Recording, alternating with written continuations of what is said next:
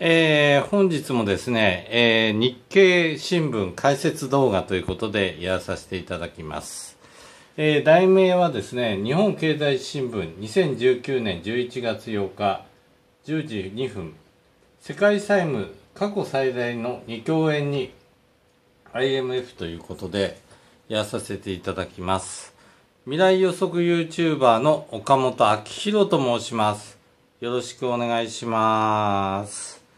えー、ただいま11月9日7時29分になっております。はい。では始めます。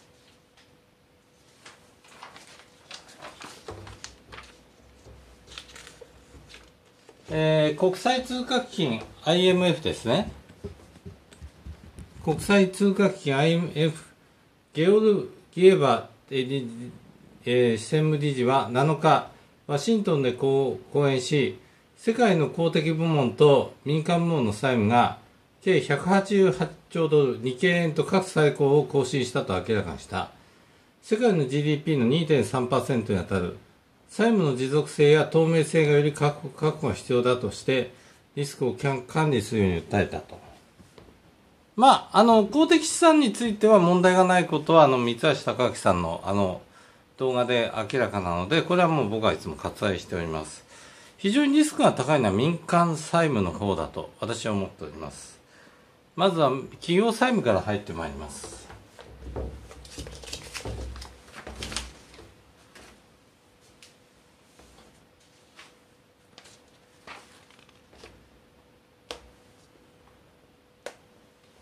えー、っとですね、まずですね、えー、企業債務に関しては、えー、2000今までは家計、企業の債務が追いつくということはなかったんですが、ここで追いつき出したということと、あのリーマンショックの規模をはるかに超えて上がっている。まあ何回も私この動画を流しておりますが、いよいよこの差もなくなってきたということで、企業がガンガンこの債務を追っかけていると。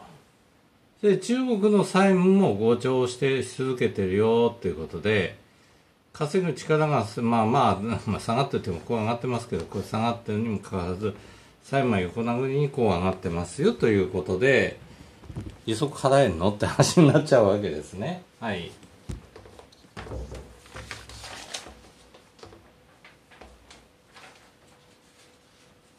さらに、アメリカの詳しい数字、これも先ほどのも日経新聞の、えー、どこでしたっけね、えっ、と、日経新聞の財務傍聴という、あの、ベイタスの方の記事からですけど、こちらも日経新聞ですね、あの、6月の現在の記事ですけれど、あとは下の方にあの引用先全部書きますので、えー、企業の債務規模がもうアメリカでも膨張していると。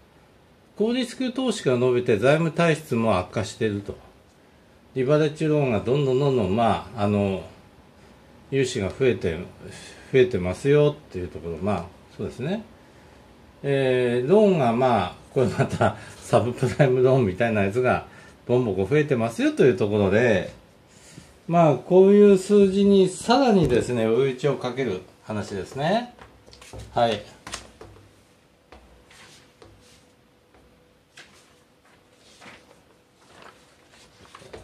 トリプル A 株、えー、の債務が急上昇してますよ。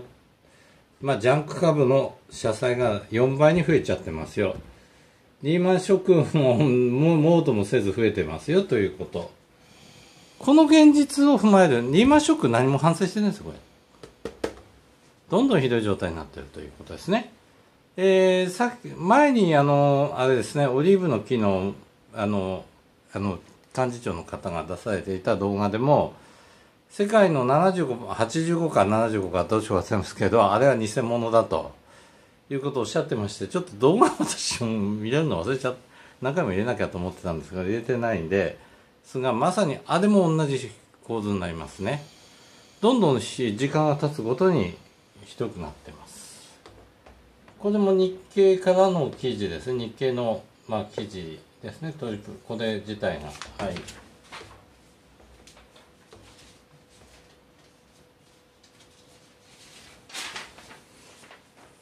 はいどういうことを引き起こすのか。クレジットサイクルという考え方。クレジット回サイクルと呼ばれる循環の動きだ。この循環は投資家がリスクのある追追投資に走り、バブルのような状態になった時山山として、金融不安不安の取引が極端に敬遠される状態をそことする。IMF は近年で最も加熱している状態で成熟期を迎えていると分析すると。まあ、おっしゃる通りですね。私もそう思います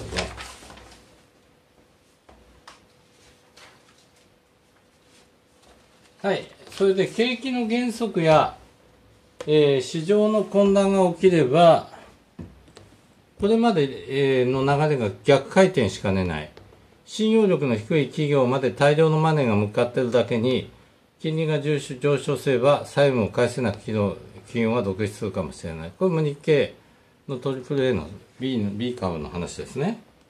まあ、これ、今どんどんどんどんこう循環でこう動いてってるような、もう安い債務書いて、それでまあ、それによってこうお金を回してってる流れ、非常に好循環な状態ではあるんですが、ちょっと変動が加わっただけで、オーマイゴーとなってしまいまして、急速な信用悪化がされると。それでまあ、あの例のオリーブ、木の話で85%ぐらい剥げ落ちちゃうと。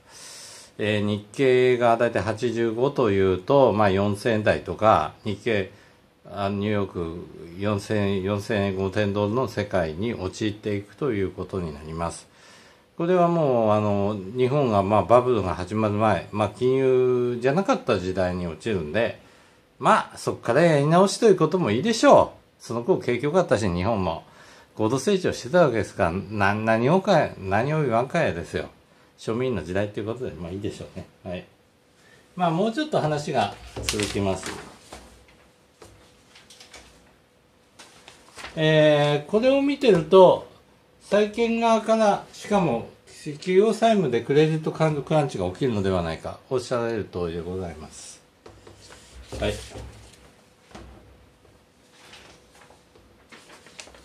こう考えると、ソフトバンクが発火点になるって可能性もあるんですよ。ソフトバンクもね、発火点になりますよっていうこと私も考える必要があるなと思ってた。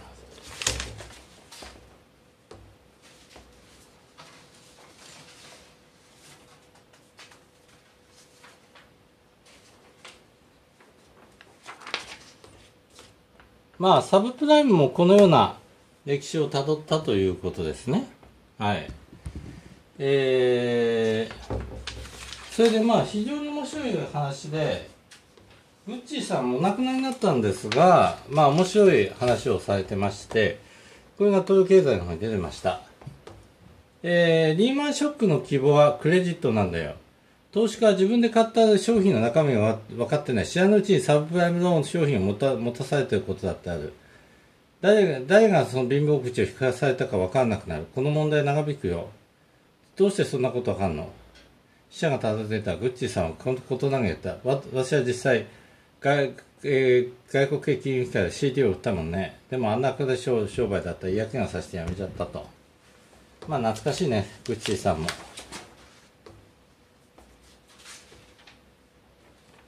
はい。これですよ、これ。低速する自己株式と発行と対照的なのは、2兆ドルで過去最高ベースとなっている社債企業だ。アメリカでは債務超過でありながら自己株買いを実施する企業すら存在するとあるように、社債で資金を調達してでも自己株買いを行って、株価を上げようとする経営者が多数いて、それが経営者自身、自分の利益にもつながっているという構図が見える。彼は金融マンと同じぐらい強欲で自分本位だから、自分の環境と自ら持っているチャンスを徹底的に利用するはずだと。これですよね。またまた出ました、自社株買いね。まあ私運在するほど動画上げましたよね。あれの世界になってしまいますよ、と。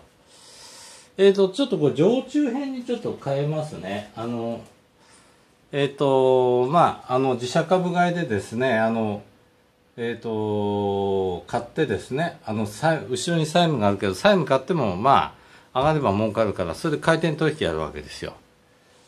に日銀のデータはもうすでに出て、出し、出して僕動画上げましたよね。あれをまたしっかり見ていただければと思うんですが、はい。この相場は、日本のバブルでよく見かけたもの。これは、えっ、ー、と、債務の統計、統計では、限界になってると。まあ今まで見た債務統計見られても限界ですよね。えっ、ー、と、すべてがリーマン超えをしている異常ぶりであると。えー、今回のソフトバンクの話もリンクする可能性があると。まあソフトバンクどこかみんなこれだけやってるわけですから、悪徳経営者がたくさん出るわけだと思って、私も関心、あの、ブラック企業とかね、そんな出てきてしまうのもやむを得ないかなという感じがするんですね。まあ、こういう、この先にある、まあ、地獄というのも考えていかなきゃいけない、いけない今時期に来てるのかなと思います。えっ、ー、と、後半、まあ、そんなに長い動画ではないと思うんですが、ちょっと A 編と B 編に分けます。以上です。